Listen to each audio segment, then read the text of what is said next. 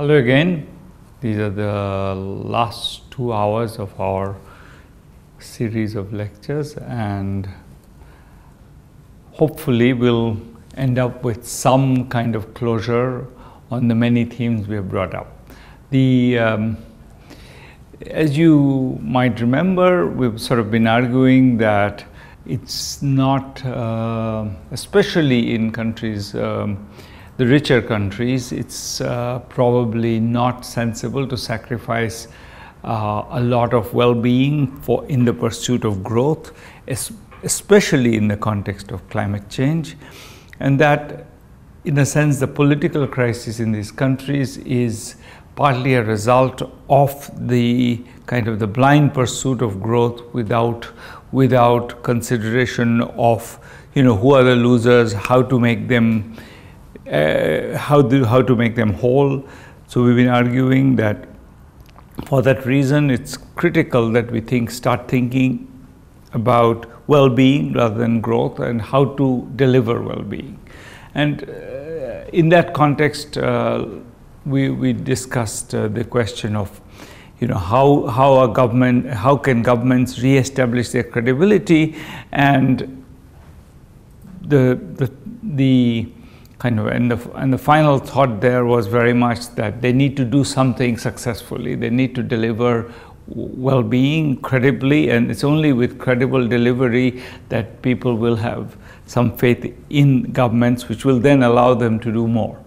We discussed uh, sort of the role of taxation, the fact that there may be uh, there are there may be very good reasons to tax much more, uh, even without the sort of the budgetary considerations that inequality is uh, itself a part of the the, uh, the crisis and we need to address that directly.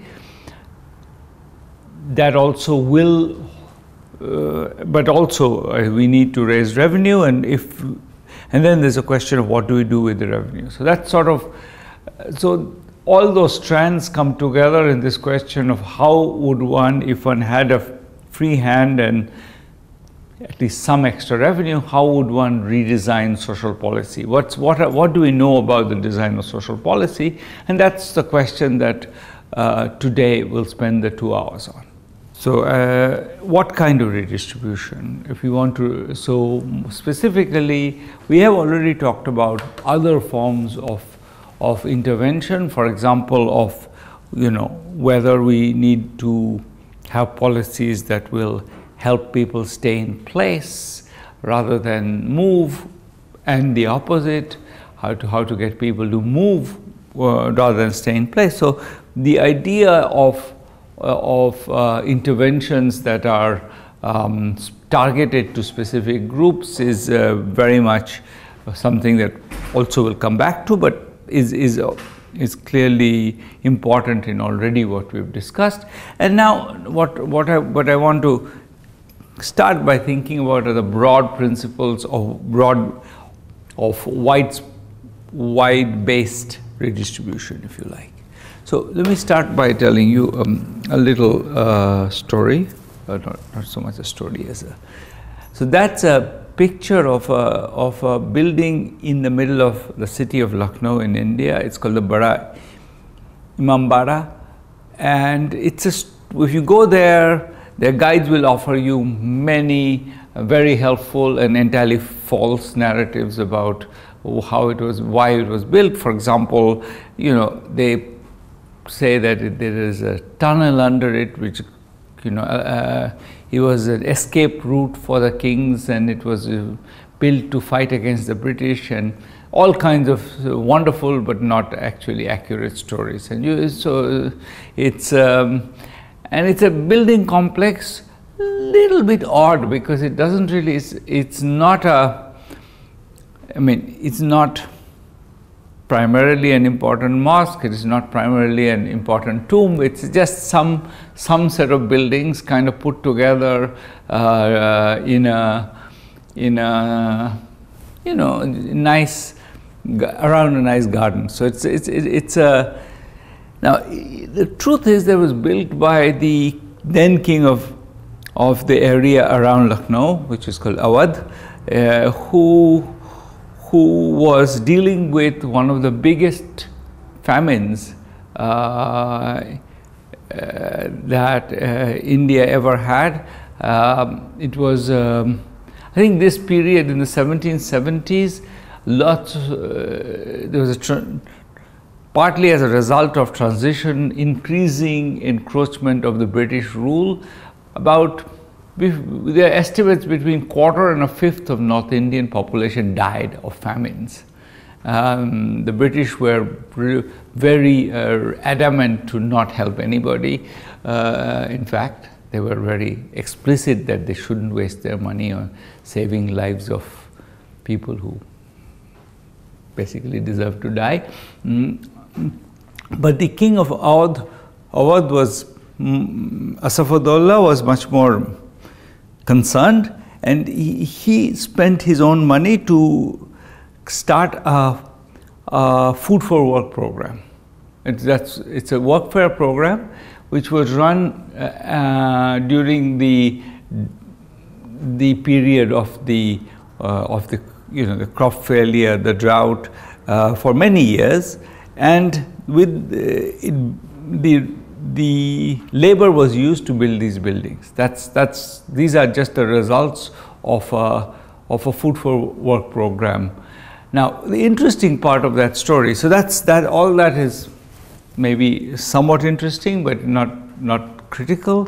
What I think is really interesting is this story, which may or may not be true, but it's either way it's interesting, which is that it's said that the, during the day, poor people came to work and they built it. And during the night, the, the elites who were also starving, since everybody lived of agriculture, when there's a drought, everybody has, has problems. The poor couldn't pay, pay their rents, they couldn't grow, the, grow, grow, uh, grow uh, on the land. So they were um, invited to destroy parts of it during the night. So that they had something to do too. It was a food for work program. Their work was to break some parts of it, which then got fixed the next day. And so the idea and the important part of that story was the reason why it was done that way in this narrative was that the elites would not come if it were that they had to be with the with the rest of the population and they would be exposed to exposed to uh, the world as having you know so fallen that they had to be working in this program. So they were invited in the night to do um, to do you know other work. And in the night it's easier to break than to build because you can't really see. So so that was that, that's the story i was told. It's a and I think the important part of that, as I said, is it doesn't really matter whether it's true or false. What's important is that that story is a story about respecting people's dignity. It's a story about saying these elites, they will, if you don't respect their dignity, if you expose them to the world, then they won't actually take, even take the welfare. They will die rather than be exposed. And whether that's a, some, maybe that's a snobbish sentiment, maybe it's a sentiment that we we morally disapprove, disapprove of, but it's clear that it, the recognition of that is a very important part, that the fact that people have, have dignity concerns when they deal with the social support system is a very important part of how we think about it. And I, so that's, and I, am going to be returning to that point multiple times. So I want to start by saying one thing that, one thing that uh, the the, this story is emphasizing is exactly this concern with dignity. Now, interestingly, this is uh, dignity is now very much back in the policy conversations, and the key uh, sort of well, where it connects is with this idea of universal basic income. You, and as you see, universal basic income is universal, meaning it's not targeted to any specific group. Everybody's, I mean, Andrew, this is a picture of Andrew Yang. Andrew Yang was this candidate for the president of the US. He lost in the Democrat candidate in the primaries and is now candidate for the mayor of New York City. So he's, his, his particular view is that um, we, universal basic income is needs to be a central piece of policy because it, it is universal, because it's focused on providing everyone with a basic living and because it's income. And uh, the word income is, is very important to him and to I think this conversation because it's not meant to be universal basic handout. It's basic universal basic income. It's some sense of something you are being paid for being a citizen, for you know complying with the rules of the society, participating in the activities of the society. Some of those activities are paid, some of them are not paid. This is something we discussed in the context of GDP that lots of important activities are not paid. But whatever, whether they're paid or not, those are that those are need to be recognized as contributions and therefore it's an income that you get, get paid. And I think all three words are important in that vision.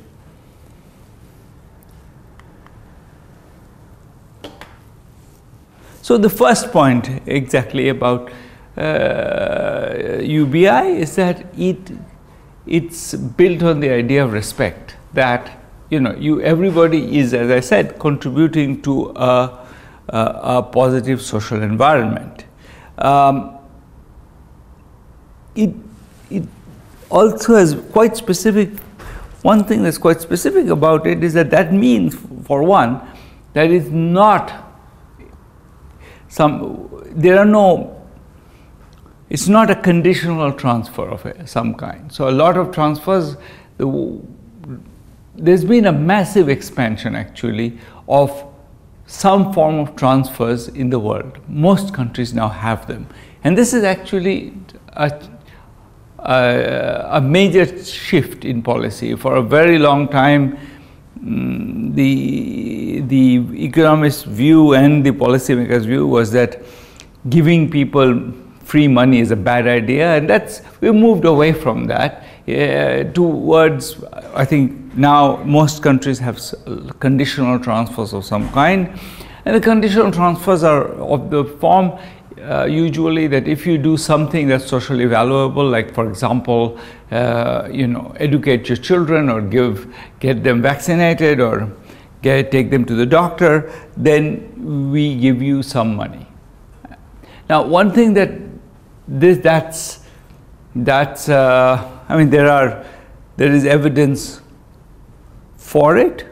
So I think I think there was there is an interesting debate on exactly how much of the conditionality matters because some there are the papers which show that if you just um, signal the intent of the money, people often comply with it. So if you just say that you don't actually have to make it enforced so that I take away the money from you if you don't do something, it can just be in, there's a paper, uh, Esther has a paper in Morocco suggesting that just sending the signal that this money is for education is often enough to get it spent on education. So I think there's an interesting debate on how, how, how stringently it need to be enforced.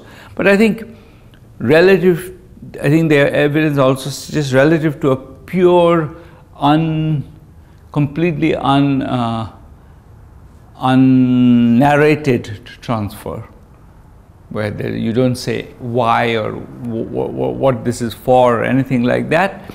Uh, there seems to be a bigger effects on, on human capital from, from conditional transfers of some kind. And the conditionality, as I say, can be enforced or unenforced. It might well be. Um, and now, the enforcement itself is costly. That's the flip side of that. The enforcement is costly because in Mexico the estimate is that the enforcement part of it costs about 10 cents on the dollar and that's not even counting what the families have to do to comply.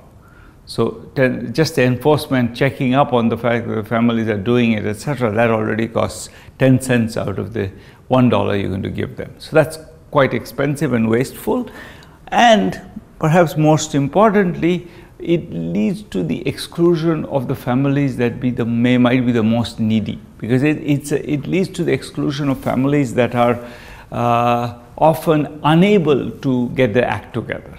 The key about you know qualifying for uh, a program like Oportunidad, what was called Oportunidades in Mexico till recently, was that you just have to you have to uh, get, take your children to the to the health center. You have to get them, uh, get, make sure they go to school. All of those things have some some uh, some uh, require some organization. The families where the you know the parents are either you know say at war with each other or with or have um, such serious economic difficulty they can't focus on anything else, those are often the families where the need is the highest, but they are the least able to deliver. So you, the targeting is often bad. So I think both these points have been made, and uh, so you can you can decide where to place yourself on that question of should the, there is advantages to the universality. You're not imposing, you know, constraints on people, you're, you are reaching people who are perhaps the most needy. On the other hand, the incentive effects, the fact that you, you do invest more in human capital are lost. So, and, and I think one could go either, either way, but clearly the, if you, if you the way a lot of the case for UBI is made is, made, is not so much based on the, that trade-off. It's just saying, you know, for out of respect for you, I'm not going to impose constraints on you. And in that sense, uh, maybe uh, the conversation of respect. The other thing that that a lot of these programs do is they constrain what you're getting. So instead of getting cash, you get kind, you get food vouchers. And I think there is a reasonable case, uh, a reasonable body of evidence suggesting that that particular intervention is wasteful in two ways. One is that delivering food is costly, the market does it better than the government. And the second is that the, uh, the effect on nutrition is essentially either zero or actually negative. If you give people food, because of the inefficiencies in that system, people actually end up consuming less than if you gave them just money to buy it. And that's, uh, there's evidence from, from Indonesia, um, now the, and many other places. There are many, many RCTs which compare cash and kind, almost never finding anything, any difference, except in, there are I think two studies that find differences. One is in Niger and one is in the remotest parts of Mexico. And both places, what seems to be important is that these are places where the supply chains are very weak. So when the government actually brings food and delivers it, that's actually increases supply. If, if the, and that particular, so one can imagine saying that except in certain places, let's just make it cash. So and that both it again respects people's autonomy, says, you know, if you want to spend it on chicken rather than on eggs, that's okay. Um, in fact, there are a bunch of, uh, there's a paper which sort of reviews the studies a, and uh, in particular focuses on the claim that, well, if you give them free money, they're just going to drink it up, the, they're going to spend it on things they don't need. Now, two things about that, even if you give them food, as long as the amount of food you're giving them is inframarginal, uh, not they would buy more in any case, then giving them the food should not change how much you spend on it's just an income effect. You, you, all you do is you're getting them, if I was going to buy 10 kilos of rice and you give me five, I'll still have to buy five. So that hasn't changed. I just, all that's happened is that I don't have to spend the money that I would have spent on rice, uh, on, uh, I, I just get some extra money. So it doesn't really make a difference whether or not it's given in kind or it shouldn't.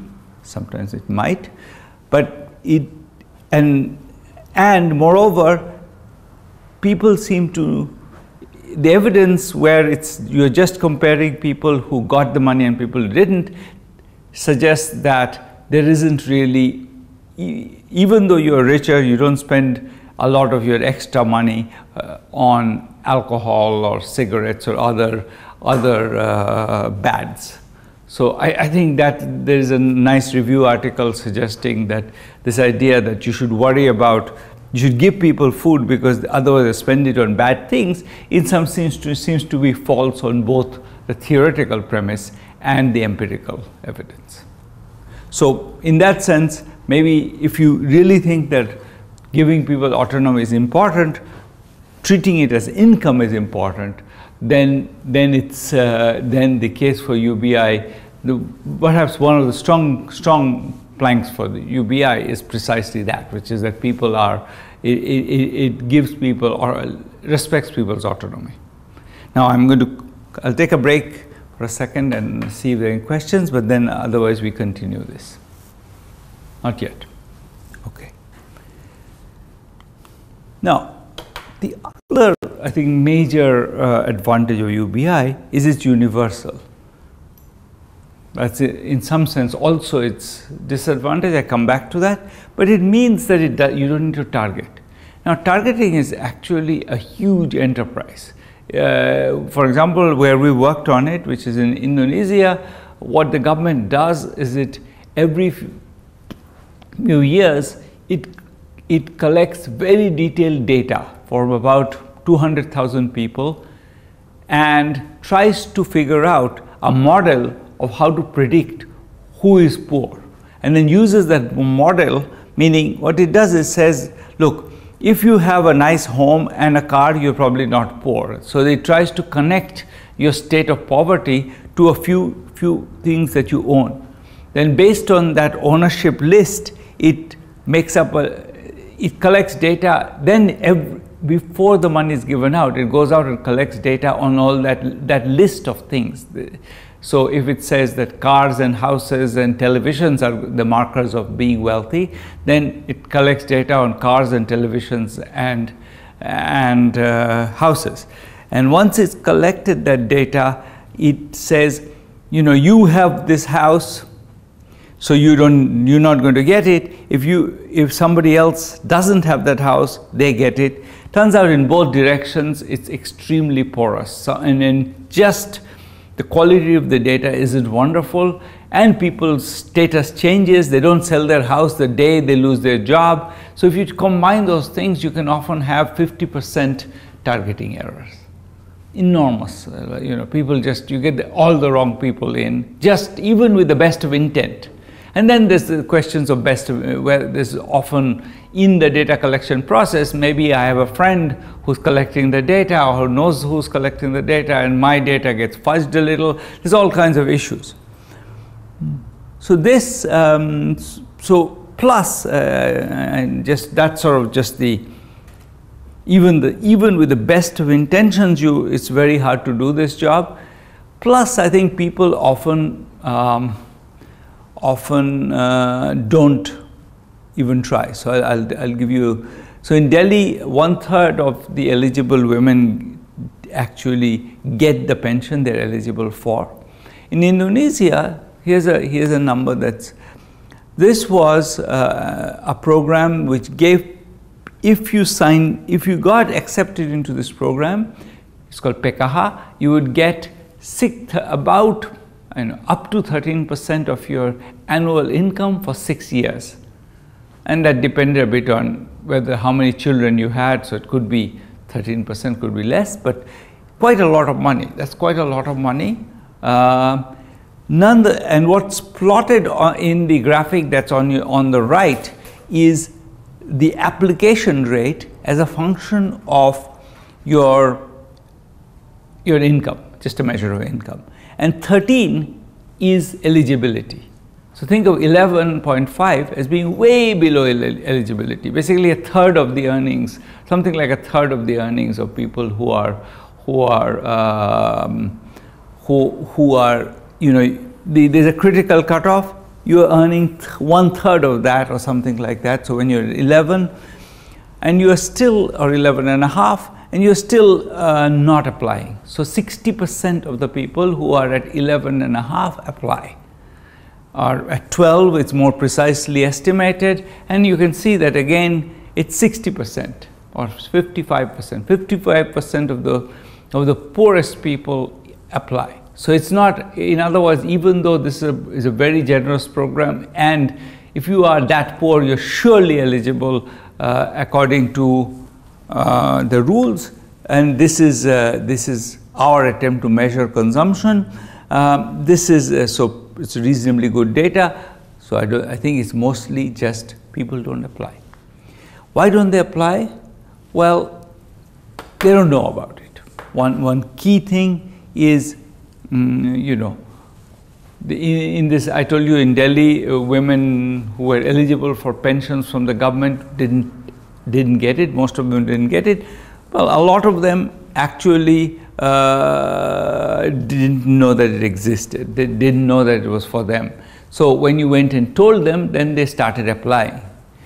Now, there was also a lot of women thought that there's no point applying because you know you don't get money from the government free you'll have to pay a bribe to somebody and it's not going to be worth it now, it turns out that this was from a randomized experiment that uh, was done with the World Bank. It turns out you didn't have to pay a bribe. If you applied, you got the money. But they didn't apply because their theory, this is, goes back to this question and trust in government. If you, if you, if theory was that, you know, of course you'll have to pay a bribe, so let's not bother. But that, that, that particular structure, of course, created uh, more exclusion and then the application process, so as I said, if you give them information, they try to apply. But they usually fail. The application process was too complicated. You had to demonstrate that these were, for example, if you were a widow, you had to find your husband's death certificate, which happens to be something that, you know, you have to actually if you haven't preserved it, it might you have to go apply and then you have to get it from. it was too much of a pain. They didn't know how to do it. Um, they, so, what the one of the arms of this experiment was to just go help them. Uh, they sent somebody to their homes and helped them, uh, brought them the papers and helped them look for it. And if they didn't have something, help them get it. And then, of course, a lot more people got it. Now, even with maximal help, only 26% of the eligible women who had not yet got it. So one third people already had it, two thirds, so this is out of that two third that remains, 26% of them finally ended up getting it. So that's a, you know, another, maybe another 17, 18% of the population. So it goes from one third to to 50%, but that's it. You, you, you still don't have 50% of the eligible people didn't get it.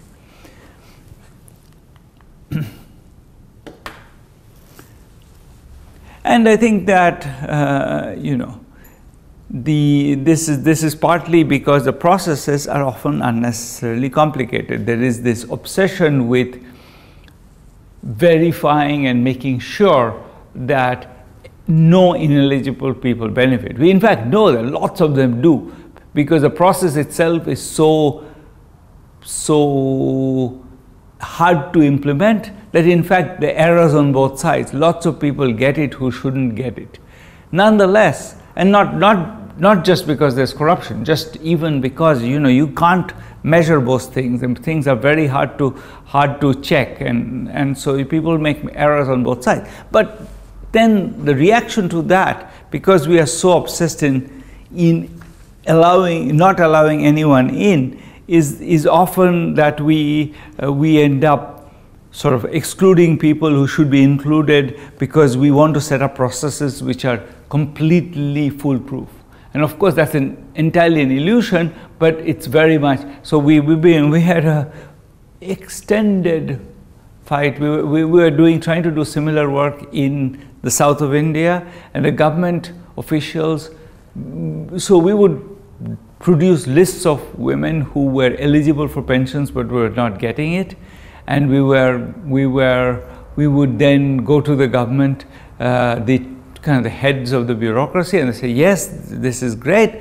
And then the people who were actually there to implement it would block those. They would say, no, this person doesn't look completely eligible. Maybe there is something we need to check. So it would just be like, we, it was, it was a, a and this was not because they were asking for a bribe. Since they were refusing, if you, if you want to ask for a bribe, you would just say yes and then go uh, bully them. They said, no, uh, we don't want to add these people at all. So they were not, they were, had no interest in, in, in uh, making money from it. They were just, in principle, they thought that our job is to screen out people.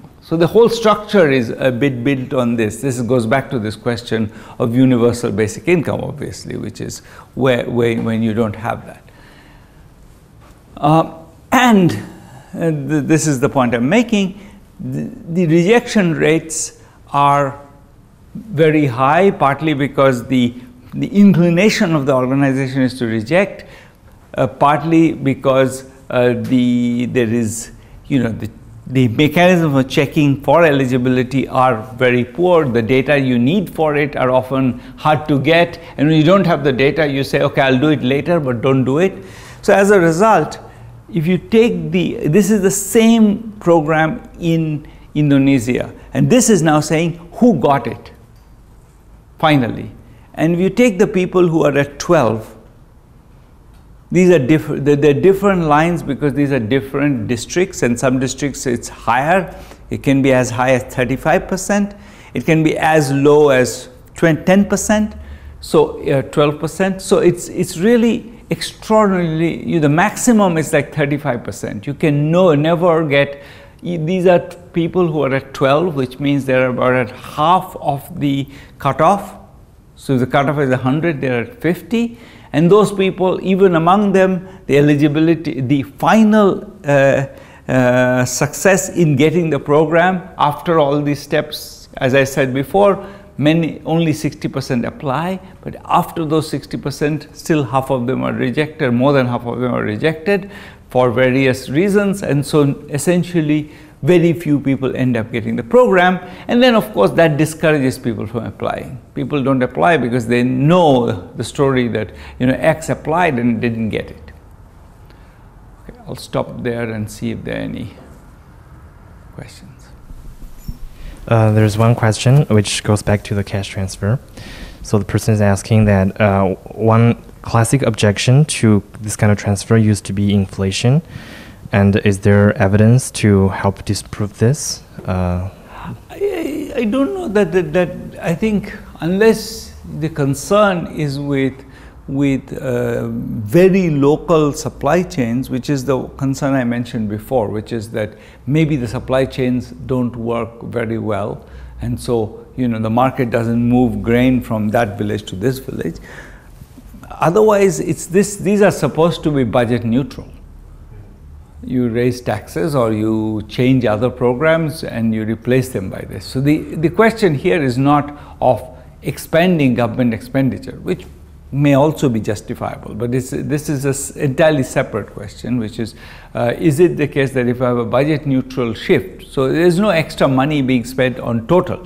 Now, that doesn't mean that, you know, maybe there's more money being spent in village A where the poor live and less money being spent in village B where the rich live.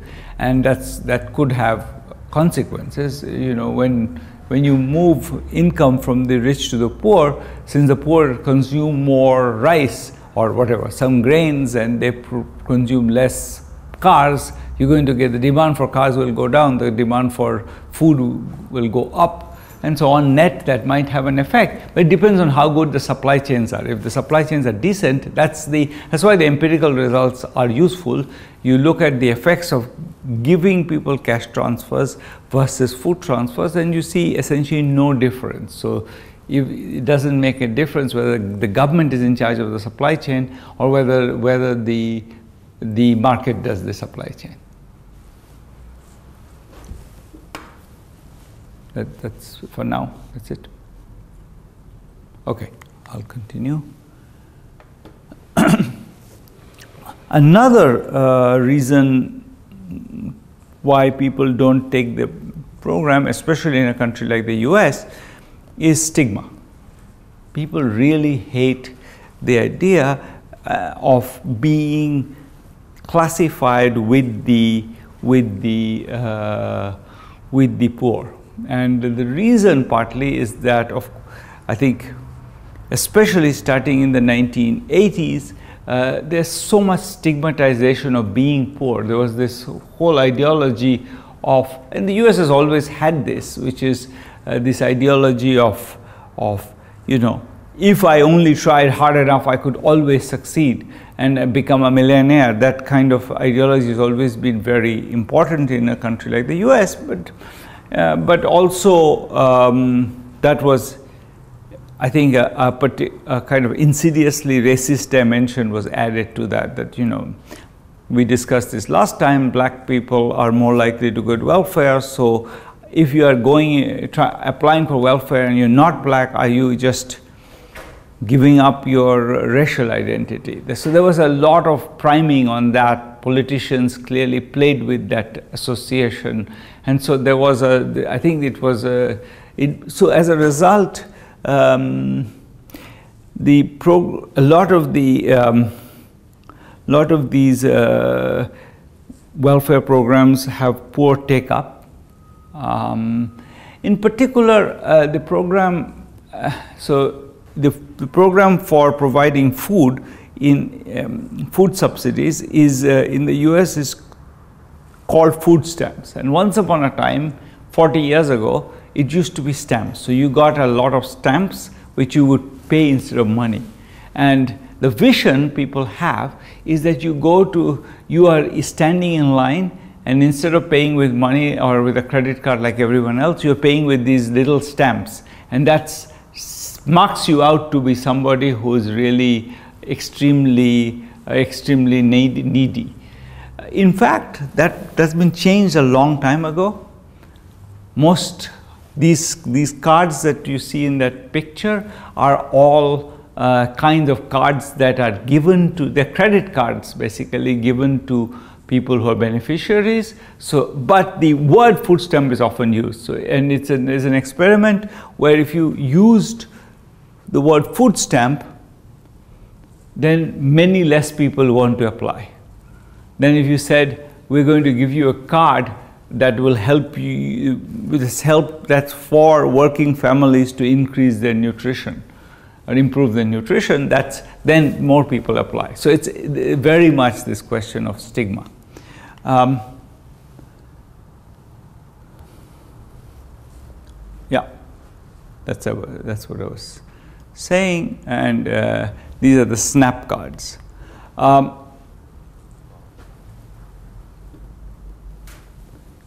so the UBI, I think, is designed to counteract this. It's anybody can get it. So it's not it's an it's a transfer to your bank account. So at some level you don't have to then you what you do with it you bring cash you pay you pay with a credit card. That's your choice. And i think the rhetoric around it also is different. It's meant to be not you know uh, help to needy to the needy but an income as i said and so in and in uh, for example, Andrew Yang calls it freedom dividend. And that, that's very much a way to change the rhetoric around it.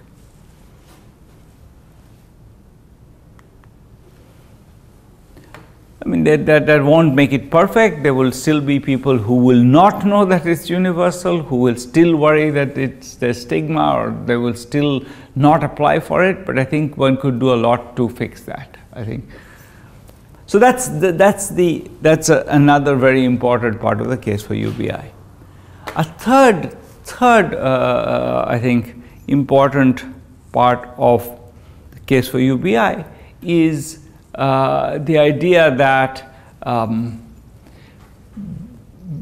because these are, uh, this is a stable source of future income, which is not, it's, uh, you know, you, you have, um, you are guaranteed this and it, it's uh, meant to be, so if you, it won't go away if you got to get, get a little richer or, or if you, if you stop, if you know you fail to send your children to school. So that it there is maybe a sense in which it has less risk it's it's sort of a it's a very and because it mitigates risk and because it provides you with a stable source of income it might encourage investment. It might actually get you to you know you may you may not want to use your kind of mm, you know, especially if if if the if it's seen as being, uh, let's say, you know, you,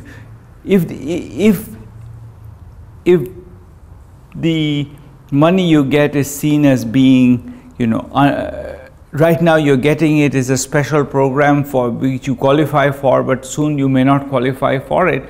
It's, that's very different from saying you, you now for the rest of your life you're going to get a thousand dollars a month and if you get a thousand dollars a month you could spend it for you could spend it for whatever you want you may be much more prepared to borrow uh, against that money to start a business or take a risk and say if I, even if I fail I have my thousand dollars a month. So it might change your investment. And there's some evidence from from Indonesia that you know there's in more investment in children. There's some evidence from Kenya that in work we are doing on UBI, uh, our, this is a, 12 year UBI, so we, we, will not have full results right now. But what we see is after two years, uh, the beneficiaries are much more likely to have started a business. So it, it, there is some effect of having. Now, the Kenya one is a little bit not the same thing because actually even the Indonesia one is because it's not budget neutral. It's extra money.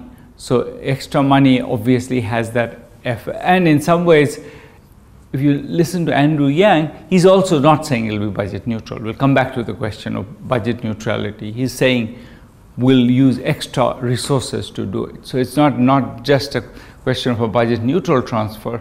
It's saying if we gave people a bit more cash in hand, would they change behavior? Which is a somewhat different question. It's not just that I take money away from your, you, you were, the way, for example, Finland, which has done an experiment on, on UBI, did it is it said you can either have uh, a cash payment or you can have these different subsidies, housing subsidy little bit, little bit subsidy for food, little bit subsidy for healthcare, etc. I take all of them away and I give you one chunk of money. And that's, that's more budget neutral. Uh, what these experiments are focusing on, and that's sort of what Andrew Yang is also talking about, is extra money. Some, some amount of his extra money is not replacement.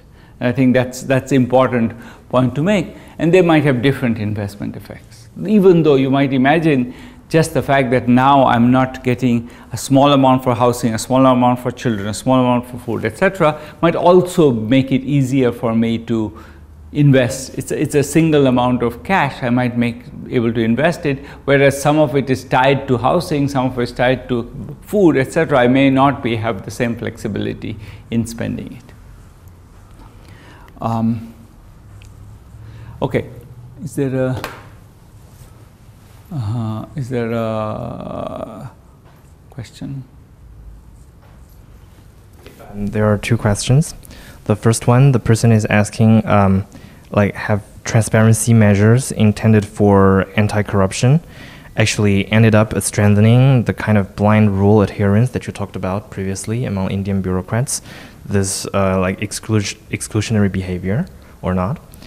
And the, and the, and the other question is that uh, the person is asking, does the weight of the informal sector in developing countries uh, prevents us from answering precisely the question on who like the poor people are? Sorry, precisely yeah. the question. like uh, how can we identify the poor people? Good. So both Yeah. questions are great. Both questions I, I, I agree with. I think transparency and the general value of put on on getting you know, inclusion right. You could be transparent and say, look, we make mistakes.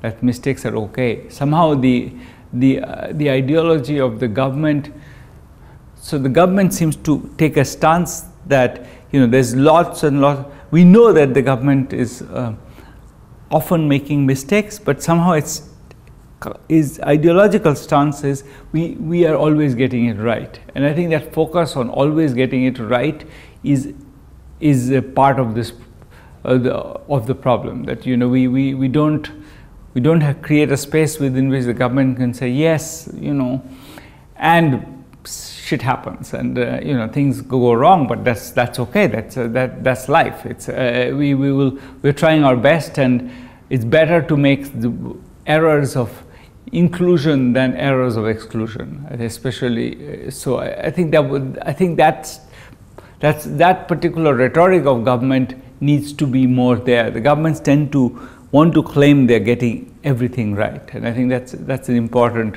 important part of uh, how governments need to change. Um, on the on, on the second question um, what was it? Remind me. Yeah yeah. So the informal sector makes it much harder to target because we don't know people's income. And that's why in a sense the indonesians use this uh, these uh, noisy markers which are you know do you have a car? Do you have a bicycle? Do you have a television? Do you have a you know a house with more than two two rooms? Do you have a, a roof that's made out of bricks rather than out of uh, tin? Uh, so th- th- those are the kinds of things that or is it thatched roof or tin roof. You know those are the kinds of things that uh, people seem to use and the, and of course those things are not very good predictors. Uh, you know, you might have a business, but your business might have failed completely, and I might not have a business, but uh, you know, I'm, I might make a lot of money. Uh, you know, whatever, uh, um, working for someone else, and but you know, maybe you you you have more assets because you originally your business was doing well, and you're still. So you may. I think it makes it very hard to, to identify. So that's an excellent point. Okay, uh, so I put this up. Uh, so this is, uh, I am a tenured professor um, and you know this whenever this conversation about incentives happen, I think of myself. Uh, I think I'm almost impossible to fire me, uh, but I, I, I work probably more than I uh, used to when I was younger, and it's just so. I think the idea that so I think the at, at the core of the economic um, one of the economic arguments for UBI is this idea that labor supply is you know one reason to have UBI is that there isn't there is a there is the labor supply, there's no labor supply response. And let me explain that idea, or the labor supply response is more favorable. So the idea is, you know, incentives are critical for making people work. That's why tenured professors are, uh, like the professor in that picture, is, are mostly asleep. Uh, people like me. Uh, we, we, we don't work because we don't have any incentives.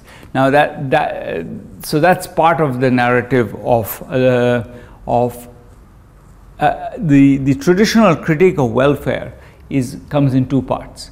One is there's an incentive effect, which is that if you, if you give people welfare and it's targeted, that means as you get, if you work hard and you make more money, then you lose your welfare. So that basically means that even as I get richer, my welfare goes away, so my net gains from working hard are small. So that's, that's point number one. Point number two is there's an income effect. So there's an incentive effect and there's an income effect. What's the income effect? I'm richer, so I should just, you know, I, I prefer to be, take part of my extra income as, as leisure, so I should work less and take, take, more more leisure out of uh, out of life. So uh, I should go on vacation more. So I, I so UBI has just an income effect. It does make people potentially richer, especially if it's not replacing other programs. But it, it is it's uh, it's not. Um, but it doesn't have this since it's universal since you never lose it even if you get richer there is no incentive effect. So that's one argument that's often made in favor of UBI now this is uh, Ronald Reagan for those of you who are so young that you haven't uh, seen a picture of him he was famously um, against welfare and his case for against welfare was that it makes people lazy and that this is the reason why the poor are are suffering and that you know if you just took them away they would work harder so for example um, based on very much this theory the recent CARES Act in the US which provided people with welfare uh, you know with unemployment insurance that was very generous. Sometimes by uh, becoming unemployed, they would earn more money than keeping their jobs. And this has been studied, so that's a massive incentive effect. As this has been studied uh, extensively, and in that particular case, people find no evidence of an, of an incentive effect. Now, you might say that that's a little cheating because that was a temporary uh, you don't want to quit a job for a two month welfare payment. You don't know how long a welfare payment will last. So maybe that's natural. Um, here's a more, um, maybe a, another example um, from Switzerland. Between 1999 and 2001, Switzerland changed the basis of taxation of the, the income that was taxed. The definition of that changed. And I don't want to explain exactly what they did because it's not that useful. The result uh, of trying to change that was that they said, look, for the, for the two years between when the previous regime ends and the new regime starts, you pay no taxes. And different cantons in, in Switzerland changed in different years. So some changed in, in 2000 and then 99 and 2000 were the two years where it, they didn't pay any taxes. Some changed into in 1999 and then for 90, uh, I think the two years before actually I got it wrong, 97 and 98 you paid no taxes. And if you change 2001, it's for 99 and 2000 you paid no taxes. So taxes were uh, fully, you have paid no income taxes for two years and that varied by canton. The incentive theory says people should really work much harder those, during those years because that's their chance to make a lot of money. And Switzerland is high taxes, so it's not this this is not a trivial amount of money. Uh, the study finds no effect on labor supply. So why am I saying all this? To remind you, the claim is that one advantage of UBI is that it, it has a big uh, incentive advantage. There's no incentive effect to UBI. You don't lose the money by working hard. Um, so since we are talking about UBI, maybe um, you know after the the as I said, the CARES Act evidence is a bit mixed because you don't know exactly how much the temporariness mattered. And then if you tell you, give people example of Switzerland, they say that's Switzerland, that they're weird. Uh, and then, I mean, that therefore, then you can look at this is uh, in the US, they really like evidence from the US. Um, and so in the US, uh, this is evidence from one of the first, uh, uh you know, literally perhaps the first social science randomized control trial. This was done in the late 60s and early 70s. It's called the negative income tax experiments. And what this experiment did, there was actually I think 11 different sites which did this experiment in different ways, slightly different ways. In all of them, the idea was what's a negative income tax? Well, imagine a setting where we guarantee everybody, um, everybody uh, an, a, a, fixed um, income and then as their income goes up, they pay more taxes. So, so basically, when they're very poor, the net taxes they pay is negative because they, they you know, they, they get a guaranteed lump sum payment and then all, they pay taxes, but taxes on uh, are very little when they're very poor, and so they're getting they're getting actually money from the government. As they get richer, they pay more in taxes. At some point, the taxes are exactly equal to the lump sum they're getting, and then they start paying. If they're richer than that, they pay positive taxes. So that's the negative income tax. So in this experiment, uh, one thing they did was this was there was a bunch of RCTs around that, and it offered. Uh, different types of subsidies and these they were varied these subsidies a little bit based on the type of the worker etc so there was there was a, a, many wrinkles that i'm not that interested in the question was this is a this this is a program which has an incentive effect because as you get richer you pay more more in taxes shows so the net amount the government pays you goes becomes smaller and smaller. So it's it has an incentive effect. And the idea was to use it to estimate an income uh, effect, they find that a 10% increase in wages per hour, so or 10% reduction in taxes if you like, increased labor supply by 1%. So there is some negative, uh, reduced labor supply by 1%. So there was some incentive effect, but it was small. And it's uh, very, and it was bigger for married women who typically were mm, often would stop working to take care of the children when they got this. So that was still not huge, but uh, now over time people have redone this and they now the claim is that the effect on the secondary earner, the married women, is much smaller, partly because women are much more attached to the labor market now. So this effect is now more, the women are now much more like their partners. So they are much more, the elasticity is also small. So the net uh, result of all of this is to say that, you know, yes, there is a uh, disincentive effect. It's not surprising. Some of the people who are doing the, some of the jobs people are doing are awful. They're kind of cleaning garbage in, at 6 in the morning or something. And so it's not implausible that some of those people decide that they just don't want that job, they look for a better job, they'll quit and do spend more time looking for a job. So I'm not surprised that there's an effect, but the effect is small.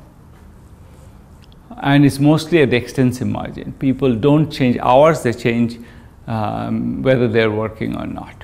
And that's that that that suggests again that yes, there is a small advantage there for UBI, but it's probably the less compelling reason for it apropos this discussion we had, uh, it's, it's, it's also worth saying that on the other hand, I said the incentive effect is at best, at worst small, and so that's probably not the strongest argument.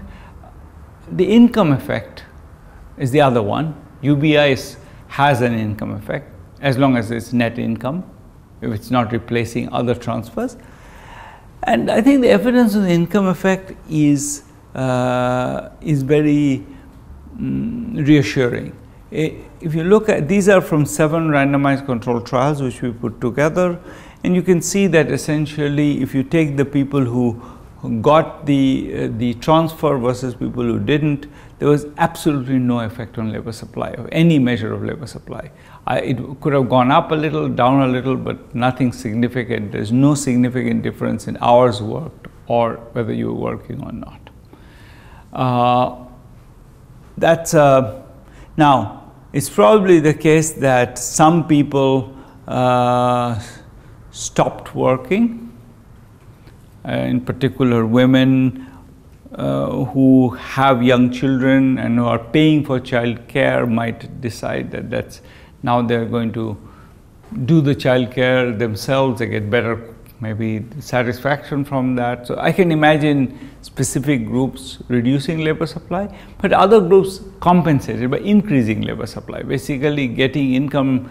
Uh, we discussed this before uh, a little while ago that you know transfers allow you to make take loans, make investments, take risks. So you might actually start something, and it seems like one of the reasons why uh, we, people invest more is that they actually have an asset which may, demands work. So they might have, they might buy some goats, and the goats will then need to be fed and taken out and taken care of, and that takes more time. So they end up working harder. There's also some evidence from our work in Ghana suggesting that getting an income transfer uh, when you're very poor actually makes you feel more positive and that's why you work harder. Uh, a lot of poor people, one thing that we are increasingly, uh, I think, uh, in, in, getting aware of is how much uh, mental health issues there are among the poor. And I think one of the advantages of, of getting some of the pressure off you is that you may feel, feel less bad about your life and therefore you might actually work harder. So I think that there is some reasonable argument to be made of that kind. So it's uh, some psychological benefits as well. Now,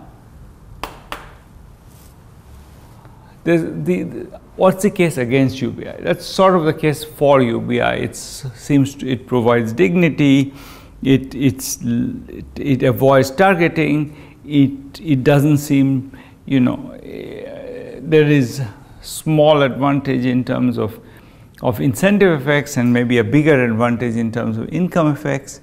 What I think is more, more less uh, clearly articulated is what's the downside. Well, one downside is just $1,000 per adult Andrew Yang's plan would cost 12, 13 percent of US GDP um, and how much would that come from cuts in existing government programs? Uh, and if so, what is the net net generosity? And I think that's a, that's a that's clearly a question. Is there really going to be? Is it affordable? That's a question that I'm less. Uh, so I think there, there, there is a real concern. On the other hand, um, as we discussed, the US also needs to raise more revenue. So it will be a combination of replacement and more revenue. Um, I think what, what I would say is one of the strong arguments against it is that it, it is, or at least against rely only on UBI, is that it doesn't have the, precisely because it eschews targeting, it means that you can't use it to, to deal with what we highlighted, which is the fact that the losers are very concentrated. They lose a lot and they're all living in the same place. And so, uh, and then they, as a result, they lose more because they're all living in the same place. So incomes go down, shops close, amenities uh, go away, so their quality of life goes down as well. So it's so in some sense, it's not the the case we made for a, for a, a more targeted transfer was precisely that uh, the, that you know there are people who are just have massive shocks to, to them uh, which are not compensated by any other scheme and the UBI precisely because anything that it gives them we will have to give everyone else is not ideal for that in some you want to discriminate. You want to say that these guys, they are paying for our well-being. We are, we are buying cheaper electronics from China and for that reason, a lot of people are losing their jobs in North Carolina and those people deserve compensation. So it's, it's it, at least, I think that's, a, that's an important and while I think reducing stigma is important, maybe there are easier ways to do it. You don't necessarily have to go there. You might also change the whole conversation about unemployment. Is it is your fault or not? The question of fault seems to me to be unnecessary. I, I think perhaps the most important uh, concern with UBI is is it doesn't uh, deal with the the uh, challenge of loss of meaning. So a lot of Americans, about half of Americans say that they get meaning in life from their job. And certainly the way they behave after they lose their job is very much reflective of that. I think uh, Esther already talked a little bit about that, which is this issue of what do you do with your once you lose your job with your time. And the the, the sad fact is that most people don't find a way to use that time productively. It's not that they are spending that time, you know, doing social work. Even if their incomes are covered, they are often in a, they're depressed, they are watching TV, they're drinking, they're, they're doing things that are not very good for their health. And that's a, that seems to be a consequence of the losing their sense of what, how they're supposed to live their life. Um, and uh, that's related to the deaths of despair we talked about as well. And this is, if this is what we are really worried about, it's certainly the Silicon Valley billionaires who are very much supporters of UBI are certainly worried about that. They're, they know that they might be blamed for the next crisis when tons of people lose their job because AI is so efficient and that AI genie has been now let out of the bottle and it's just going where it wants to go and we don't know how much but the estimates that we see uh, there is a uh, Daron Acemoglu and and uh, what's Pascual's last name? Um, they have a paper showing that in industry in areas which where the industries that are more subject to current changes in AI, uh, the losses in jobs are higher. So, so net net losses. So jobs are not being replaced. So I think that there is a real reason to worry about it. But if what's happening is that a lot of people in the sort of in middle skilled jobs are going to be basically you know people who are now reasonably skilled who, whose jobs are, are satisfying and interesting jobs for them are all now basically put out to pasture because there's the, the machines can do the job better then telling them that your income is secure may not be enough. They might just be too too too depressed to deal with their lives. So the question is, how do how do we think about the question of meaning in the context of UBI?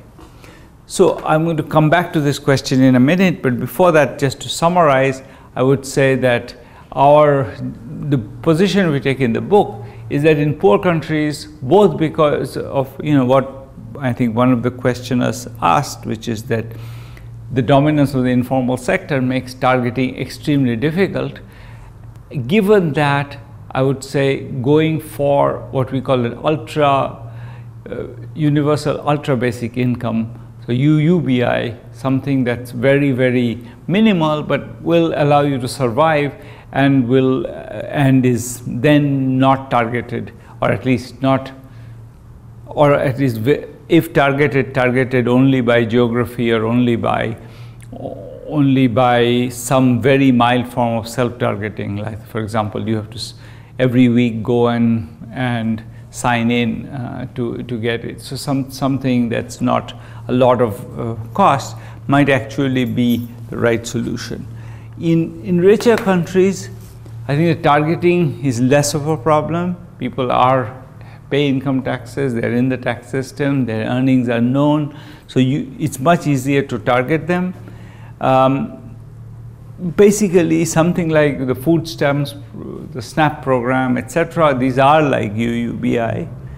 So what we really want is a program that takes the next step of compensating losers effectively and th that might be much more targeted to losers. We know who the losers are usually, and I think the, the real challenge is designing programs which pro protect the dignity and the meaning of life of the recipient. So how do we do that? That's, that, that's the next uh, question that I'm going to turn to.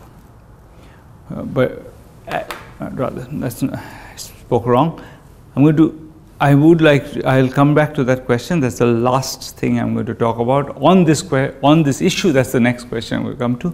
Before that, I want to raise an issue which I think is clearly, obviously on, on many of your minds, which is, can, suppose we assume that uh, the, we know what to do, can we do it?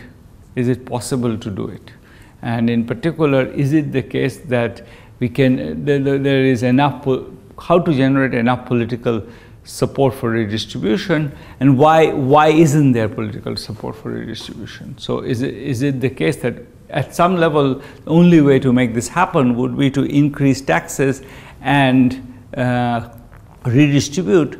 And as I mentioned last time, we know that in actually in both in in the US and in France and in the UK, uh, the vote for the pro-redistribution parties has been becoming more concentrated among the richer people.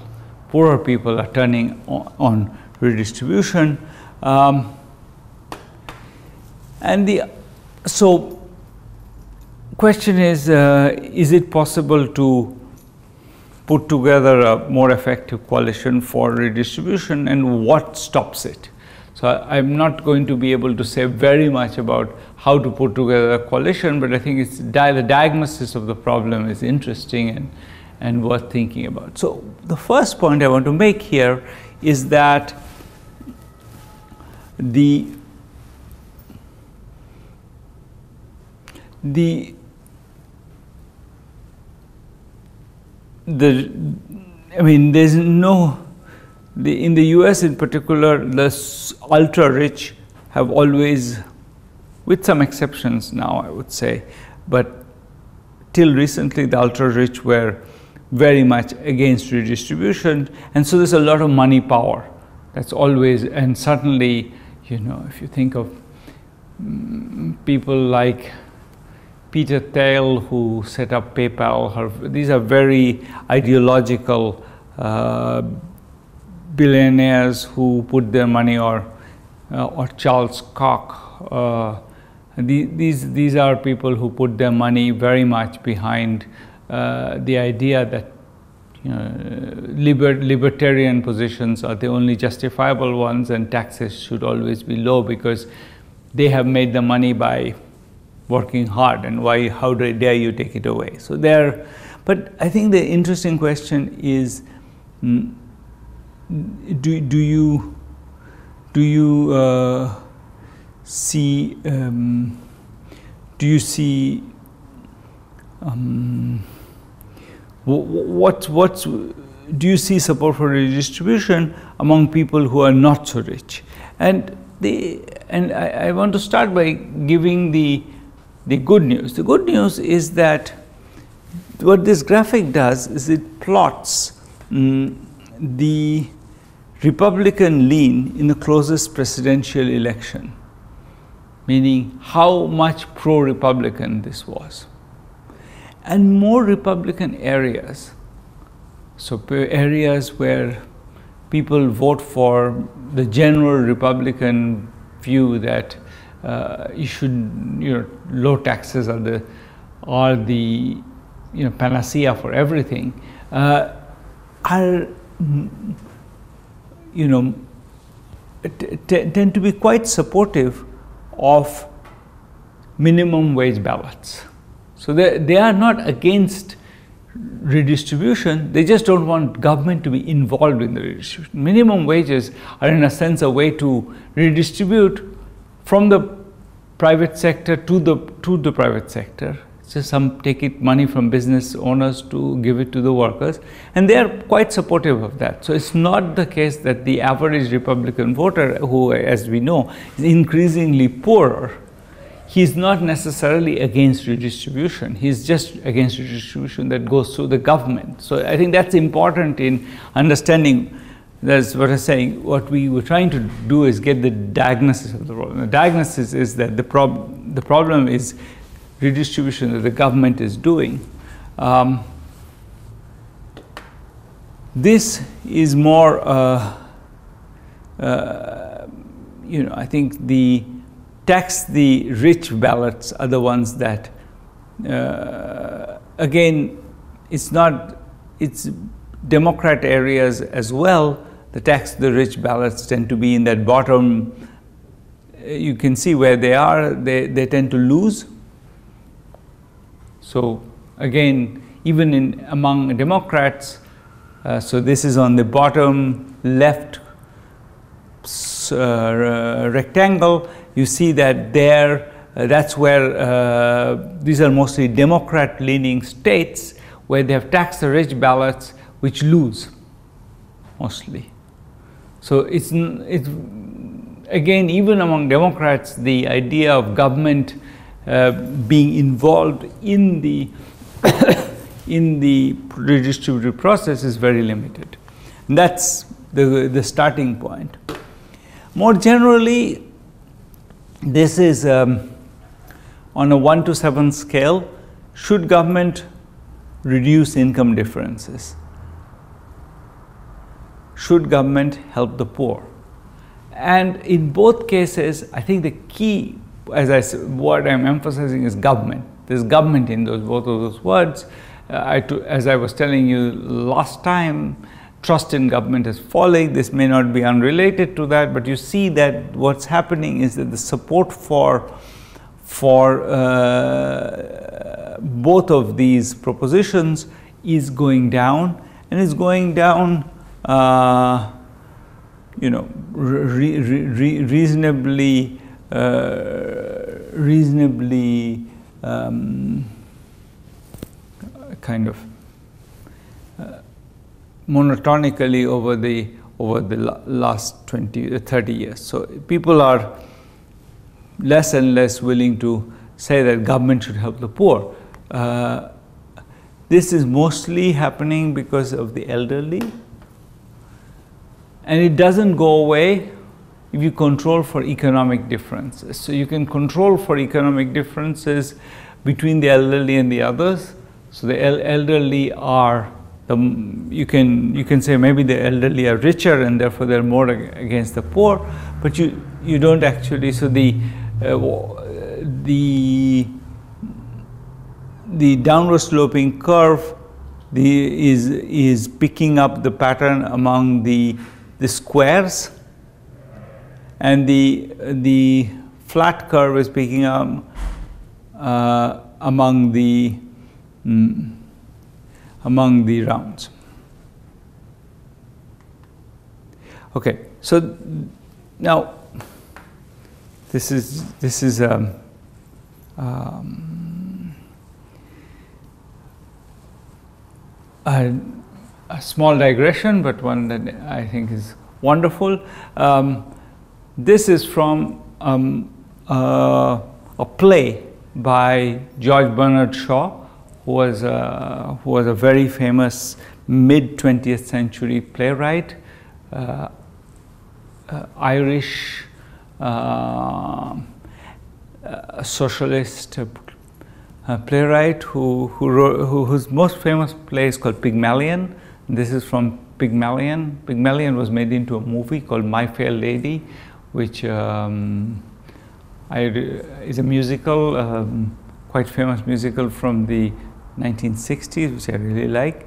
Um, and this is this is a character in in the book, and he, again, I think the question is so. As I said, the re, the old, older people are particularly have become more and more anti anti poor, and that my, and that's not because they are richer. It's because of controlling for wealth doesn't do anything to that. So it's because they are more, uh, more, um, uh, they have some moral concern, presumably, with, with either the government intervening or just helping the poor.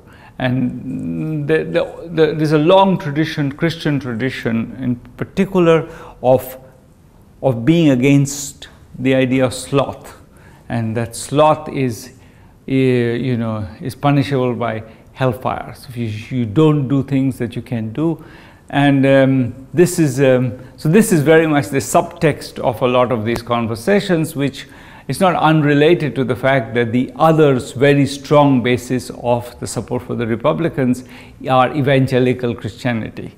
So again, that's not that's not accidental. Those that correlation is is uh, in the U.S. is not accidental. So so this is a particularly um, so this is a kind of pushing back against that ideology, and it basically says, look, I I ask you, what am I? I'm one of the undeserving poor. So, so, this is very much pushing back against the idea that if the poor, you know, need to be helped, they need to be deserving, and that's that came with the idea that you know certain people who are maybe they don't can't work, don't work, but everybody else who's not working is undeserving and therefore a whole ideology, a policy was built on that. The Victorian poorhouses famously were built on exactly that idea that and where men and families were separated, men were uh,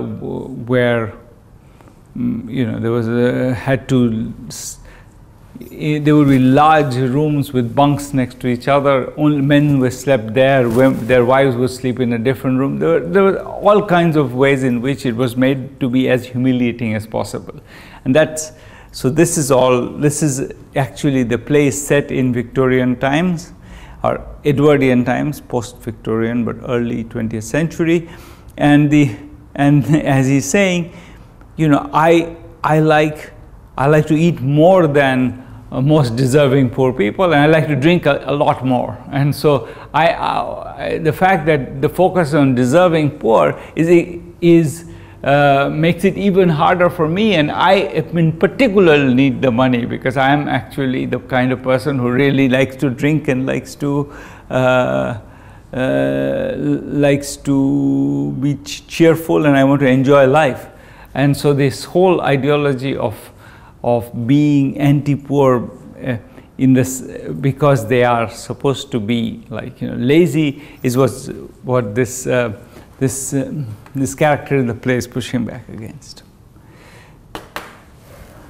I think that's combined with a real concern about something that we already talked about, which is the incentive effect. So I think people really think that this, if we make welfare generous, then people will become so lazy that they would actually hurt themselves.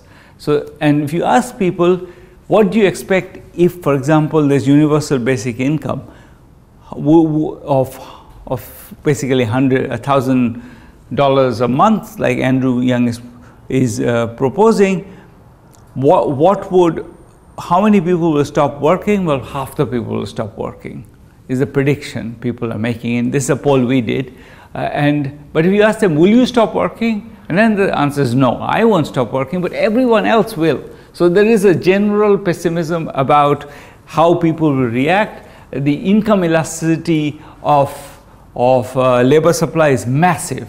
So a negative income, it, you know, you're going to stop working as soon as you get free money, and it's just the the threat of hunger that keeps people working in this theory. So that that's a now, along with that, I think the other reason, so I think there is a moral dimension, a kind of a maybe Christian moral dimension to that. But I think there is this incentive effect, which I think is over exaggerated, massively exaggerated income income effect, which people believe in. The other thing people believe in is that if you try in America, you can always make it, and uh, the perceived uh, social mobility in the in in the U.S. Uh, is um, you see if you look at perceived in U.S. Uh, mobility, uh, the U.S. tends to have a probability of remaining in the bottom quintile of earnings. Uh, if if your children, the U.S. thinks roughly that the, you know your if you start in the bottom quintile, you stay in the bottom quintile with a probability of about a third. In, if you compare that, let's say, with France, in France, um, the, the ac actual uh, social mobility is uh,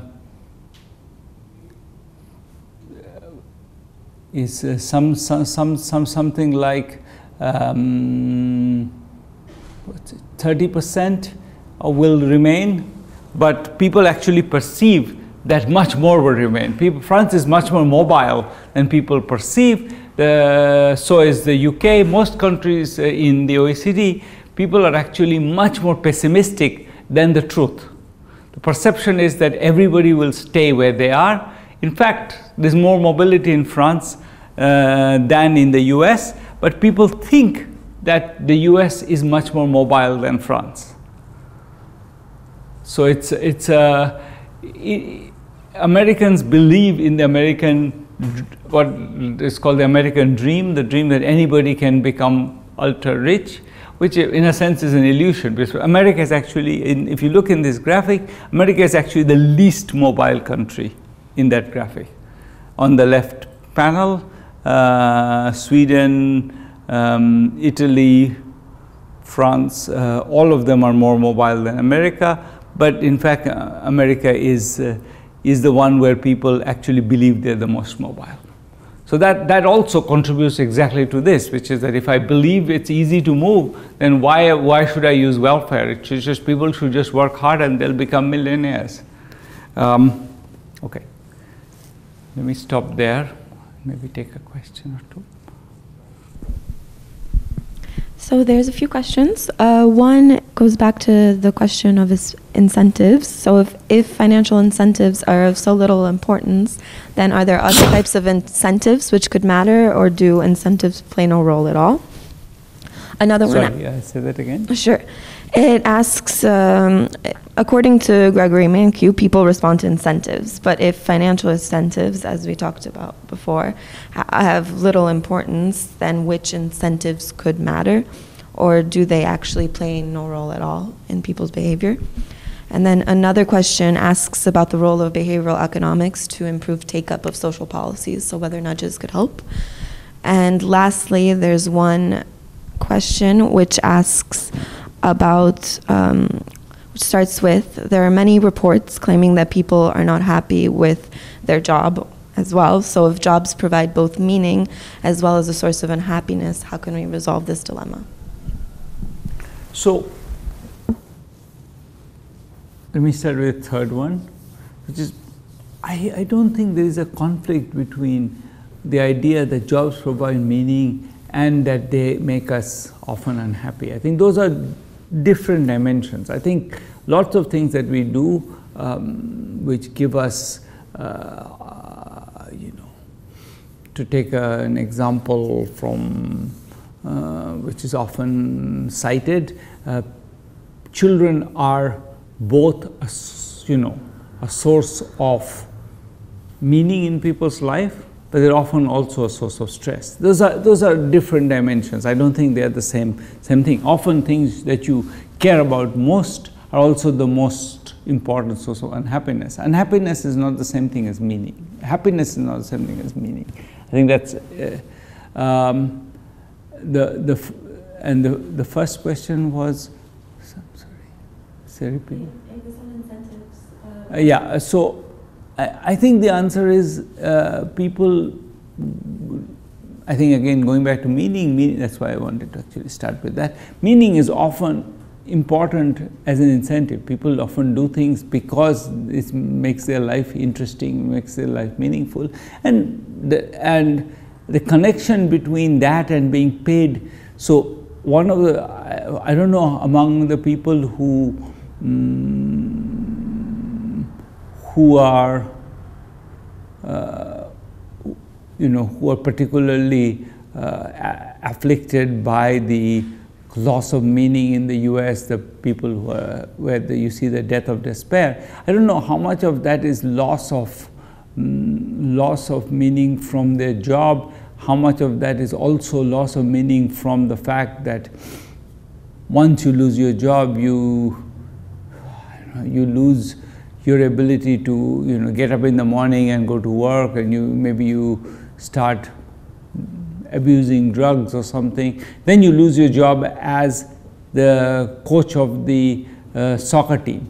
And that's maybe a very important part of what you lose. Your your the respect of the community is what you lose. So and that ties us back to the second question on behavioral. So I think one of the issues that uh, that I think uh, uh, this brings up is this question of um, how do we, in a context where uh, people people have a particular vision of themselves, and that's uh, part of the reason they don't want to participate in welfare. So they, they want don't want to be the welfare receiving person. How, I think the central challenge of behavioral economics in a sense is how, to, how do we, if we, I think the, the starting point of traditional economics has been people's preferences are a given. We, we talked about this a while ago. Uh, people's preferences are something that they are endowed with, and there's nothing um, more fundamental about that.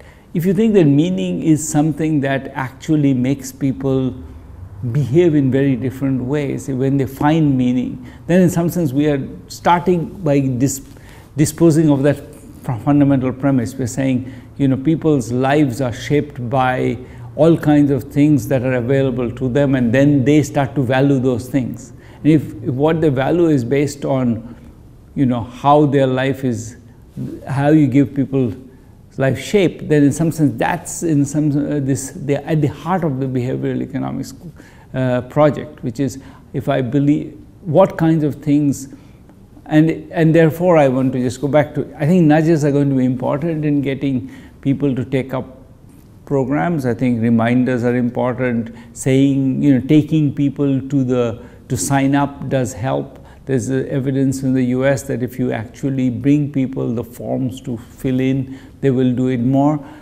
Having said that, none of that gets us very high numbers. I think the, the real issue is we may want to go beyond nudges. We may, behavioral economics may be more important than just nudges.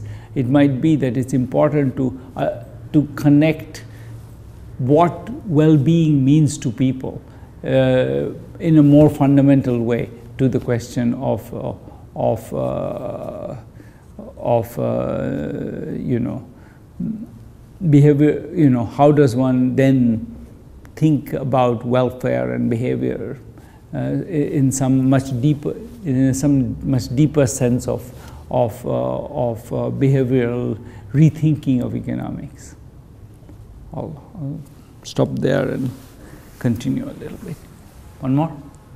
Okay, good. Okay, uh, so you can see partly what the problem is. The problem is that people seem to think that we live in a world where mobility is easy, incentive effects are strong, there's a whole tradition of, of looking down on the un undeserving poor. Here is an interesting experiment. Um, uh, by the late lamented Alberto Alesina, Stefanie Stantcheva, and uh, Edward Teso.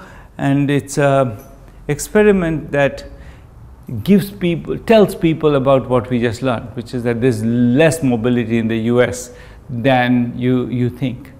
You tell that, what's striking is that, you know, the left wing people become more pro redistribution because the, but the right wing people become more anti redistribution or at least they don't move uh, in the obvious direction they don't think that and and when you think about it you might say that look you know these are often people who already think there is lots of redistribution too much so if you think that there's enough redistribution, then it's not surprising that you actually move in the opposite direction. You think, okay, the government is trying its best, but in fact there's very little mobility. So therefore the government can't do anything. It's, it's powerless to affect this. People are whatever, doomed to be or they are you know, I think there's a racist element in many of these narratives, which is that you know these these kinds of people they're hopeless. They'll even if you give them a chance, they won't be able to take it, and therefore let's not bother. So I think there's a lot of this is just you can read the same evidence as saying either let's do more or let's do less because it's not working. Uh, and I think I think my sense of why we find this is because people actually uh, adjust their their beliefs about you know about how, if left-wing people start with the belief that the government isn't doing enough and so it's okay they think the government should do more right-wing people start with the idea that government is doing a lot too much maybe and so now that you observe that the government isn't succeeding, you just say that, okay, it's doing too much and it's not succeeding, why bother? And I think, as I was alluding to, I think there is a clear sense in which one, one source of, of uh, opposition, at least in the US, but also elsewhere, to welfare policies. Um, I think, for example, in India, there's uh, the ca caste is an extremely important driver of of, well, of opposition to welfare policy is, um, is ethnic biases. So white people in the US are more opposed to welfare than anyone else by a lot. This is true after controlling for education, income quantiles, and even political bias. So even take a, a, a conservative, a liberal, a conservative white and a conservative non-white, the whites are more anti, anti-welfare. So this is a study, uh, or a survey experiment, MTurk, uh, which what it does is it, it does takes the same data and just reframes it to make look look it look different, and then it shows to it's on MTurk, meaning it's on online and it's a survey experiment, so it's not particularly it's not people are just asked questions. There's not a the, the behavioral response is not they're not doing something that's um, costly for them. They're just making choices. So th that's the caveat. Um, so the experiment is to show people either the, the panel on the left or the panel on the right. The panel on the left, they're the same panel. They're just a little windows of, of, uh, of uh, data uh, cut from one is cut from the uh, from the the left one on the left is cut from the one on the right. And and you can see that on the one on the left shows that you know there is not much of a trend. The one on the right shows that when you look on the longer term there's a much bigger trend. There is the whites are becoming a minority in the US so those are the same data which uh, but but they're packaged in different ways, so people actually think these are different numbers. Um, if you show that the people, the, the one on the right, they are much more likely to become anti-welfare. Um, so this is, is, is, is, a, so they were asked um, the question they were asked is, suppose the government has to cut its budget by 500 million uh, dollars, how much of that should come by come out of cuts in welfare? And the answer is, if you we shown the graph on the right, you cut welfare the the the you increase the amount of the cut in welfare by 40 percent. So very big effects on welfare. You, you basically say that, look, you know, if whites are just vanishing, that means we are being too nice to the non-whites and we just have to stop that. Or we, um, and you know, and they are more likely to also say, the same people are asked, do you care about your racial identity? And they say yes. When you show them one on the right, on the one on the left, they are much less likely to say that, you know, I don't, uh, I, uh, to say that I don't care about my racial identity. So you could, the, the possible, I mean, so you could imagine this is, their interpretation of this is that this is a result of, of people feeling paranoid, that the, their country is being overrun by these other people and we are being too nice to them, maybe cutting welfare will be, uh, will help them. You could also imagine a slightly different explanation, which is that um, they, they, they think that, for example, the, you know, the, mm, sort of more demographic explanation. There's the, the support for children is uh, too generous and welfare, and therefore people, non-white people who are having more children, but it's some, it seems to be a, a reasonable uh, so indicator that race has something to do with this story. Then they do another another uh, experiment which is less obvious that they, they should be doing, to be honest. The experiment, this is an interesting debate between economists who don't like these experiments and others. So they lie. So they tell people either incomes are converging or diverging. In fact, incomes are not converging between blacks and whites, but they show claim fake fake pictures showing that they're converging or, or real pictures showing that they're diverging. So they show show that and ni neither neither has mm,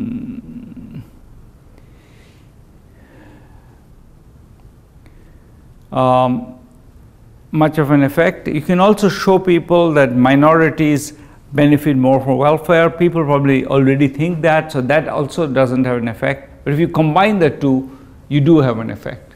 So people, when, when you're told that, you know, the minorities benefit from welfare and they're catching up, which is sort of the story we were suggesting, then we do find a correlation. So now, there is a, what is strange is that you find the same effect among the minorities. So when you show that to the minorities, they also seem to uh, be anti-welfare. So it's not clear exactly how that's being interpreted, but that's the most clear. Now, this evidence echoes an interesting piece of US history. So in the US, um, between uh, around the First World War, after the First World War, into the 1920s, there is a, a major set of major shifts in immigration. Uh, the reason is that first, of course, during the First World War, Germans are not allowed to come to the US. And Germans are a huge part of the US population. The single largest ethnicity in the US is German. So, or at least uh, white, single largest white ethnicity in the US is German. So Germans were uh, blocked. Then a lot of Italians came. Ital Italy was on the US side of the war. Uh, a lot of Italians came. When the Italians came, there was a pushback. People didn't like all those Italians coming. So after 1921, a law was passed to actually encourage the Germans to come relative to Italians. Co there were quotas were imposed on the Italians too. So as a result, there were major shifts in the geographical patterns of migration because people who migrate always go to where previous migrants from their own country came. So Italians went to Boston, uh, Germans went to the Midwest. So Boston got a lot more immigrants during the period where the Italians were coming during the First World War period, and that stopped after 1921. Uh, it, uh, the Germans, the places got which had German um, you know, a lot of Germans had already settled, got more Germans after 1921. So the, there were different places where at different points of time the number of new migrants were, went up and down. So you can compare places where because they had originally a lot of Italian migrants, they got a big inflow right during the war, but with places that didn't get a big inflow because they had mostly German migrants. And you can see what happens to, to uh, to the labor market outcomes. Good news, 5% increase in in-migration actually increases employment of the natives by 1.6%. The natives upgrade their jobs, they start becoming employers and supervisors of the new migrants. So in fact, everybody benefits from this, but the political reaction was uh, negative. Um, Democrats lost support in cities with more immigrants, where are more immigrant flows. Pu public spending goes down, taxes are cut. There's a famous example of where um, no, this that's from a different period when this again happens in the 1950s when the cities, 60s, cities are racially integrated. There used to be pools, swimming pools. When the swimming pools were integrated, there was support to pour concrete in the pools to fill them up so that you don't have to swim with the, swim with the black people. so, um, in particular places, things where new immigrants worked, like for example in garbage collection, those were things where funding went down. So there was a clear shift in the places which happened to get more immigrants. They, they started taking policies with the anti-immigrant, even though immigrants were good for the natives. Um, and the claim was that these immigrants are all useless. They're really just you know here to steal public money. Uh, in fact, it was not true. Immigrants typically use less public money. They're younger and more more uh, more um, selected to work hard. So there's no evidence for that. Um,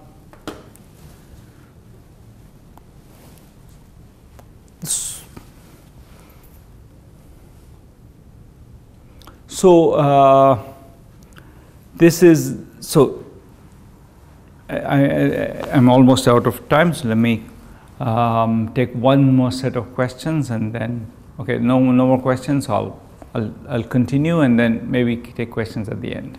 Um, so at this point, we sort of see that there's a whole set of cultural and maybe uh, historical reasons people have beliefs in mobility that were once upon a time maybe true. America was very mobile in the 19th century and is no longer true. So a lot of Americans believe in a myth of America that no longer exists, but that then makes them anti-welfare. So there, so that's a, so there are good reasons and bad reasons why people are, but mostly bad reasons, I guess, why people are anti-welfare. Good meaning there are reasons that are at least.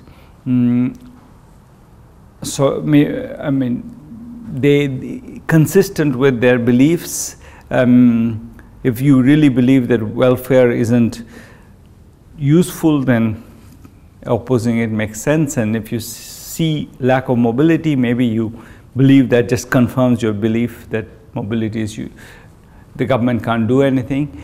With all that, we do see a shift uh, right now, there is support um, for wealth taxes much more than, than historically in the US right now, and Biden seems to be acting on it. There seems to be a, a real uh, moment where people are willing to absorb some uh, redistribution. So it's a good context to reimagine social policy. So maybe it's the case that despite these structural constraints, maybe this COVID, COVID convinced people that maybe some more government intervention is useful. I don't know how long it would last. Okay, so just to summarize what we have learned, uh, we don't really know how to foster growth. It's not clear we need more growth. Um, growth goes mostly to the rich, at least in in UK and the US, but more and more in more and more countries. And in the rich countries, in the poorer countries, we definitely need growth. Uh, and most inequality is regional. There's very clustered. There are places which are going down in the north of the UK. That's, uh, you, that's the reason why you see this support for Brexit, which they see as being responsible for the decline of the north of the UK, of, of England. The north of England is uh, supported uh, Brexit, even though they're traditionally left wing and poor. And they supported Brexit because they see that this, they think that this is, uh, their regions are being decimated by trade. So openness is somehow being blamed. So we see exactly this pattern in many countries. Mm. People are slow to move and uh, partly for sort of socio-cultural reasons. They like being with their friends, partly because the because the few places where this economic success tend to be very, very uh, there's very small number of them. they're very clustered, they're very expensive. Real estate is extremely expensive in California, it's extremely expensive in New York, it's extremely expensive in Boston. These are the places where there's success. Uh, failure is much more widely distributed, and so uh, they are coming from places where real estate is extremely cheap because cheap because people are leaving and going to places where few places which are very uh, the hubs of growth where real estate is extremely expensive and that's not easy to do. Um, I think in this context, it's clearly very important to think about how to how to redistribute better.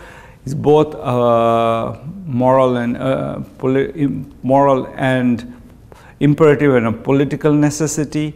And I think that uh, we are. I think if we don't do it, we will uh, certainly take the risk that everything that sort of makes our society pleasant will be lost along in that rage, in the fire that, will come uh, next time. Um, and this is all uh, all the more because our automation is coming and it's going to destroy uh, jobs at least temporarily. Expanding redistribution is not easy. I think low, low income voters are often skeptical and particularly because they associate their uh, wealth, the, the, the redistribution with groups that they don't look down upon, they now don't want to benefit from it because they think that by benefiting from welfare, they'll be associated with these groups that they look down upon. So in even for their own selves, they don't want it. So I think that how do we normalize, uh, redesign social support in this context? Well, first, I think normalize job loss. I think the key idea that I think, uh, especially, uh, I think Denmark, the flexicurity idea in Denmark has pioneered is the idea that job loss is not your fault. It's a normal characteristic of a modern capitalist economy. You lose jobs. It's normal, it's not your fault. You lose jobs, some you'll find another one. It's society's obligation to find you a job. I think changing the relationship between unemployment and failure is critical. Protect regional, regional economies. So, as we said, people don't move very much. It's hard to move. Real estate prices discourage movement. Uh, it's also hard to move uh, just physically because, for example, mm, uh, you know, you you have your mother is in uh, she she lives in the same town as you.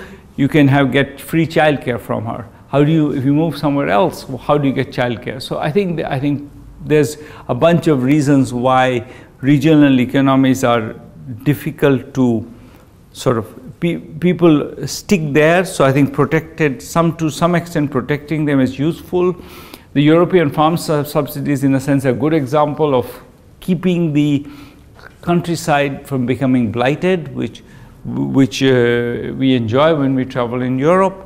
Um, I think probably helping people move is the other side of that. People should, I think, making sure that they can, for example, providing easier access to childcare. US has essentially no subsidized childcare. Providing easier access to childcare would make it easier to move. Uh, providing uh, you know easier some temporary uh, subsidy to for moving for you know transitioning to a new you know, piece of real estate. Those those would all help. Um, I think probably I think all of that needs to be combined with, and this is where I think the real divergence with U, UBI comes, with I think a, a very critical investment in creating new meaningful jobs. And we know roughly where those jobs need to be. They need to be in, in uh, elderly care, in, in child care, in, in uh, healthcare, all of these areas, we, we know that there is demand for more services and place, where automation is not going to help us. So I think we know roughly where, where those jobs need to need to be created and we know also that those actually especially uh, better quality for example head start programs the high quality head start programs have massive long term benefits the children from low income backgrounds who get them actually have much better life so i think that we know that intervening the, is socially worthwhile and it creates meaningful jobs. So I think that that's a, that's a key uh, step. And finally, employment programs should be designed to, to not to tell people that look you know now that you lost your job and you don't have any skills what do i do to you but to, to encourage people to value themselves and in some sense that's a that's a program that uh, is the, there are NGOs that are doing that. Um, the Travailler et apprendre ensemble, work and learn together program in France is one example of that where they work with people who have lost their livelihoods, who lost their even their um, basic self-respect. In many cases, who have who are who have lost their homes, who lost their uh, you know, lost their children because they were abusing drugs, and takes them and gives them a, a way to rebuild their lives. And I think that's critical to think about how what they are doing there because they're not only investing in in you know the job itself, but in the person. And I think that's a, it's a critical way of thinking about it. Um, job replacement programs, likewise, there are examples again in France. The Senat program is well known for not in starting by not telling people, okay, now you go do this because you lost your job or you didn't get that job. Um, but to actually listen to them and give them again work on their confidence. And the, the slogan um, from, uh, you know, uh, uh, ATD uh, Quatrième Monde, which is another French NGO, all together in dignity to overcome poverty. I think that's that that I think should be our charge as as economists, as human beings, as participants in society. So I'll stop there. Thank you very much.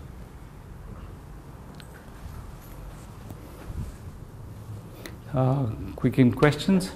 Yeah. Uh, so one question is, in evaluating the empirical evidence of welfare policies, how does one measure dignity? And another is, uh, what would be the effect of open borders on inequality and the economy as a whole? So on, on the uh, question of how one measures dignity, I think that's hard. I think it's, I, I mean, I, I think we know lots of markers of it. Do people does it stress them out to do certain types of, uh, we put in some certain types of positions, do we know measure ways to measure stress, we kind of know how to measure at least self-reported well-being. Dignity, I don't think we, we have got there, we'll need to, so I, I, I take that as a challenge. Um, and uh, I'm sorry, I'm just terrible today. What's the other question? Open borders, Open borders I mean, as you might remember from Esther's lecture, probably would, I mean, you get some more people, but is it going to be huge? Probably not. People are very slow to move, so it will probably be some more people and uh, some more poorer people. Um, so global inequality will go down a little. Within rich country inequality might go up a little, but uh, first order, I don't think is a huge uh, part of the story.